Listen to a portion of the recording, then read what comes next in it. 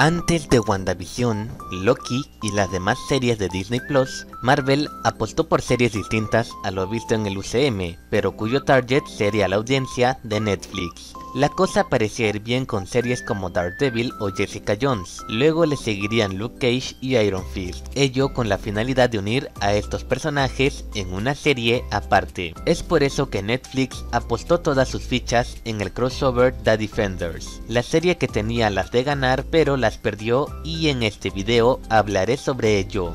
La organización criminal conocida como La Mano ha llegado a Nueva York hace unos meses y ahora está dispuesta a desatar el caos.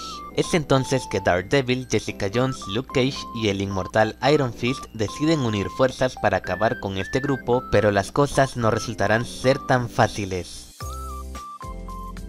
En este video comenzaremos, luego de mucho tiempo, con el lado negativo, y es que la serie prometía mucho pero brindaba poco. En teoría, esta serie tenía que equipararse a su homóloga del cine Los Vengadores, pero en lo único en que se equipara es en la reunión de distintos héroes nada más. Es difícil buscarle una identidad a The Defenders dado a que es igualita a sus predecesoras. En Daredevil vemos a un héroe amargado y serio soportando las injusticias del villano hasta derrotarlo. En Jessica Jones lo mismo pero con la diferencia de que el protagonista es una mujer. En Luke Cage lo mismo pero con la diferencia de que el protagonista es afroamericano. Y en Iron Fist lo mismo pero con la diferencia de que el protagonista no evoluciona para nada. Aunque mejora un poco en esta serie y su segunda temporada. En The Defenders vemos a un grupo de héroes soportando injusticias del villano de turno hasta derrotarlo, nada más. No hay algo atractivo más allá de la mezcla de colores y batallas. Asimismo, el desarrollo de personajes es insípido. Está allí, pero no es como que sea algo impactante para los héroes. Es interesante ver a estos héroes interactuar, pero no hay mucha química entre ellos.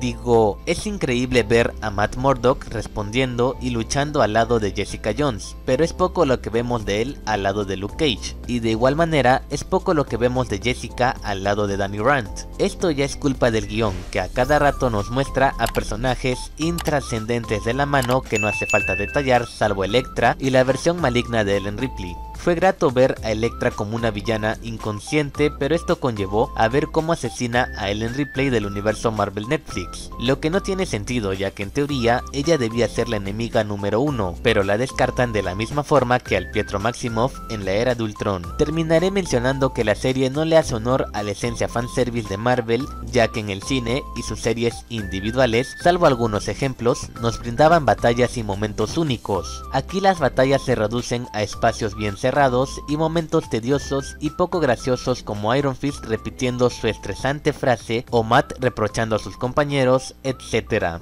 Digo, hacer un buen chiste o verlos sonreír no los matará. No digo que hagan chistes absurdos como en los de Thor, pero al menos deberían romper los momentos tensos y no extenderlos.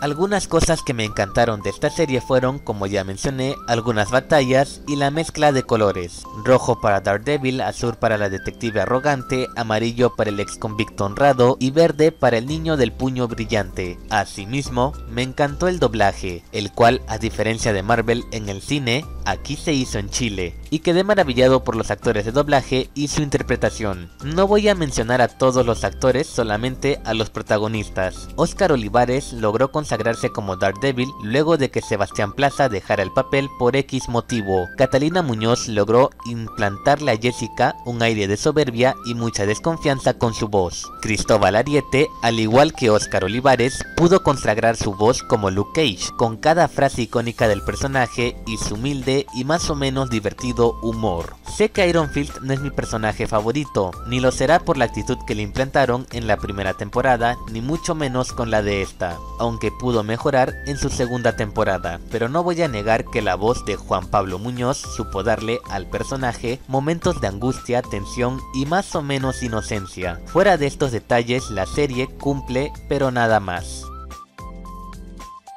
Del 1 al 10, le otorgo a esta serie un 5 y raspando. Me gustaron varios aspectos, el doblaje, los ambientes, los colores, las actuaciones que me olvidé detallar, pero es mucho lo que me ha decepcionado. A diferencia de otras series como Daredevil, Jessica Jones e incluso The Punisher, esta serie no ha brindado un personaje decente ya que Electra fue interesante pero no era vista como villana, más bien como otro amor tóxico de Matt y aunque cumple con su rol, lo cierto es que es muy poco lo que se puede destacar de ella en esta serie, cosa que no pasa en la segunda temporada de Daredevil. Defenders tuvo excelentes referencias a los cómics y a sus series, pero más allá de eso, no veo cómo esta serie, en comparación a las que Disney Plus ha estado sacando, pueda destacar, incluso si la comparamos con las series de Netflix. Ya veremos si Marvel, bajo la tutela de Disney Plus, decide darle una chance a este grupo de héroes. Ya le dio luz verde a Daredevil y ojalá pase lo mismo con los demás, incluyendo a Punisher. La serie la pueden ver por la plataforma del ratón y yo ahora procedo a despedirme.